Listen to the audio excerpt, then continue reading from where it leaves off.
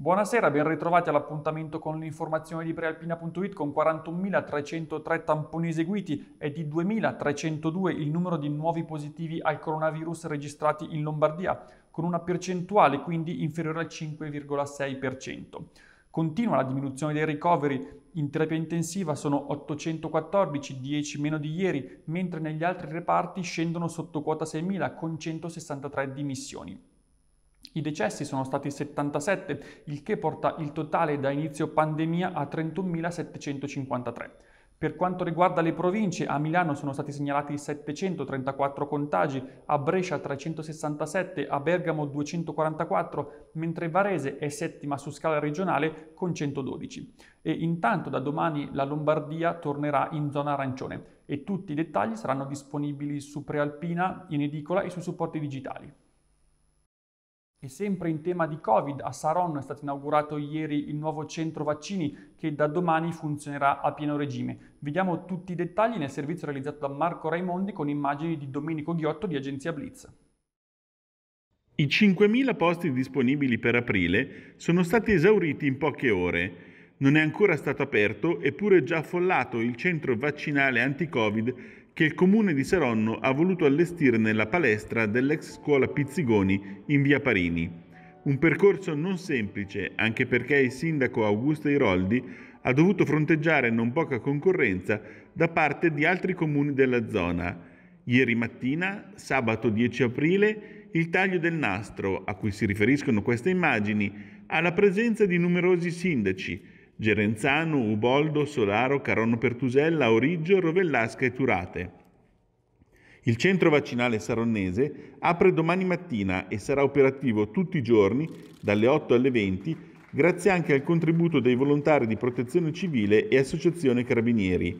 Per ora verranno somministrate 400 dosi al giorno, con potenzialità per arrivare fino a 690 la particolarità di questo nuovo hub è che i cittadini in attesa di essere vaccinati saranno intrattenuti con brani musicali eseguiti da un pianista e potranno ammirare le riproduzioni del Concerto degli Angeli di Gaudenzio Ferrari custodite nel santuario della Beata Vergine. Alla Schiranna si sono conclusi oggi gli europei di canottaggio con la finale del doppio pesi leggeri femminile che ha proiettato di nuovo Federica Cesarini tra le stelle del remo internazionale. L'azzurra, cresciuta alla canottiere virate e in forza alle fiamme oro, ha infatti conquistato la medaglia d'oro in coppia con Valentina Rodini.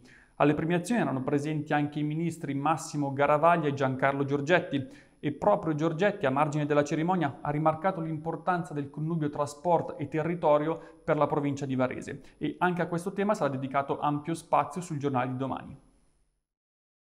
Spostiamoci ora ad Azzate, continua a tenere banco la polemica sul cantiere nella zona della Pesa. Il ritrovamento di lapidi e resti umani ha spinto alcuni esponenti della comunità militante dei 12 raggi a chiedere lo stop dei lavori in polemica con il sindaco Gianmario Bernasconi. I Dora hanno anche danneggiato le reti a protezione del cantiere. Dal canto suo, il sindaco ha annunciato che le ossa saranno portate al cimitero e che domani i lavori riprenderanno regolarmente. Da Legnano arriva una storia agghiacciante. Un trentenne sudamericano è stato portato in carcere dai carabinieri accusato di violenza sessuale sulla figlia di appena 4 anni. L'uomo è stato arrestato nel tardo pomeriggio di venerdì d'intesa con il pubblico ministero Rossella Incardona e domattina verrà interrogato dal GIP Stefano Colombo. Stando a quanto emerso finora sarebbe stata la moglie, dunque la mamma della vittima, a sporgere denuncia in caserma. Chiudiamo con l'economia. I primi bonifici previsti dal decreto sostegni varato il 19 marzo dal Consiglio dei Ministri sono già arrivati a destinazione e altri arriveranno nelle prossime ore. Proprio mentre i lavoratori agricoli scendevano in piazza per protestare per la mancanza di aiuti, è stato infatti disposto il pagamento per oltre 22 milioni di euro di contributi a fondo perduto a favore di 6.918 imprese della provincia di Varese, la cui richiesta di ristoro per le chiusure e gli effetti della pandemia è giunta entro la mezzanotte del 5 aprile sull'apposita piattaforma dell'Agenzia delle Entrate. E tutti i dettagli sono già disponibili su prealpina.it.